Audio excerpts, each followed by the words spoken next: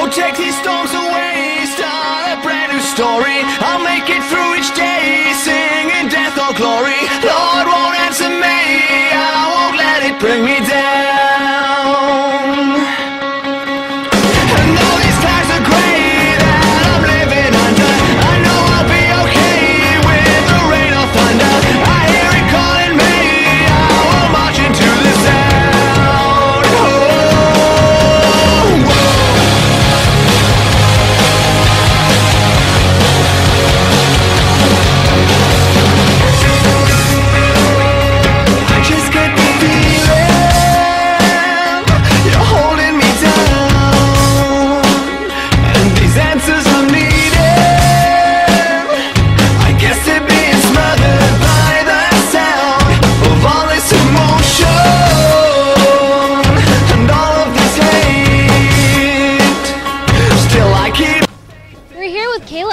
One of the captains on the West Chester University track team.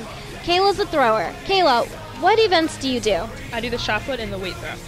Uh, what do you think your one of your biggest accomplishments was this season? Well, definitely when I threw my personal best, and which put me second best in school history for the weight throw, 47 feet, back at Ursinus College a couple weeks ago. And uh, what what do you think you're going to do this year at PSACs? What goals do you have for yourself? Well, definitely right now I'm ranked second in the shot put, so I hope I can throw my personal best there. That will put me at the top of the podium this year.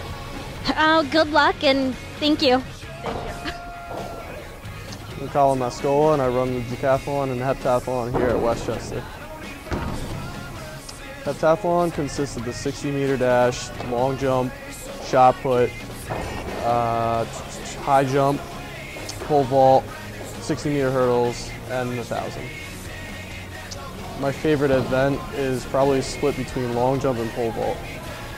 I recently competed at Bucknell and I broke the school record for the indoor heptathlon, which I set last year. And I'll be competing at PSACs right now. I'm sitting fifth for the heptathlon.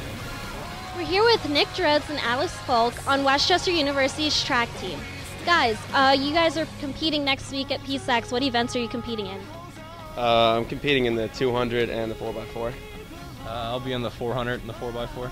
So I hear that your 4x4 team is a second away pr- from provisionals for nationals. Are you guys going to get it this week or next week at the conference championships? I think we'd like to we'd like to have it this week, um, but if not, definitely next week at conference championships.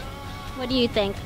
Uh, yeah, I don't know how it'll go at Kutztown, but um, we're hoping to get it at PSACs. Uh, what is your competition looking like?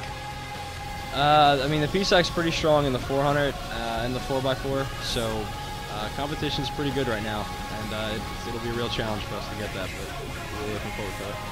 So, Nick, this is your last year. You're about to graduate. Uh, what have you accomplished so far this season, and what are you looking to improve before you graduate? Um, well, I've, I've run a, some some good 400 times, and uh, the rest of the team has, and the 4x4 is every I mean every 400 runner's dream to have a good 4x4. So uh, this year, this is the year. We're gonna have a good season, good 4x4 PSACs. Well, good luck, and we look forward to hearing from you guys. Thanks.